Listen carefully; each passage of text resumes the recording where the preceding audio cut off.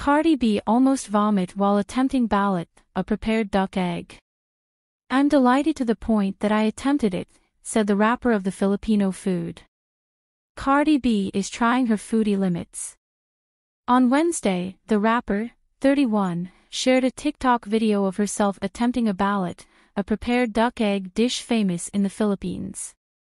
The WAP rapper, who is in the food space with her spiked whipped cream brand Whipshots, got going her taste tasting video with a tribute to TikTok's own food pundit Keith Lee.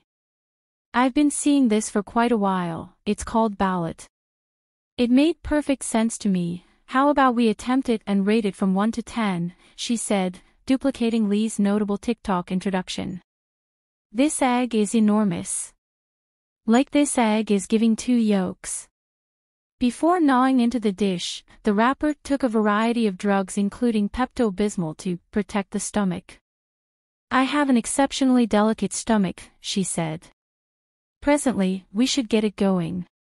Assuming that you're a genuine Bardigang, you realize that I can eat anything with lemon and salt, so I got lemon and salt and pepper, she expressed, flaunting her bowl of preparing primed and ready to sprinkle onto the egg. We should attempt it.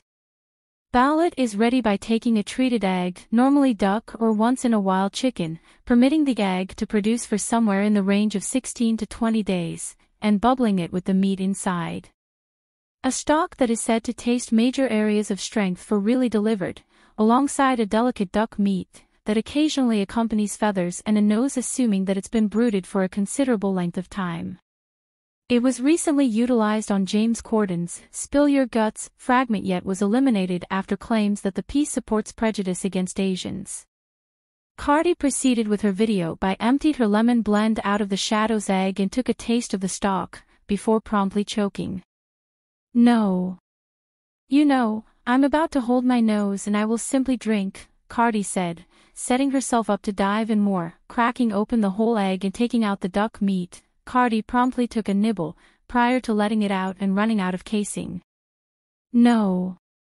I could do without it, she said. It's exceptionally substantial. It in a real sense tastes to me like an uncooked chicken.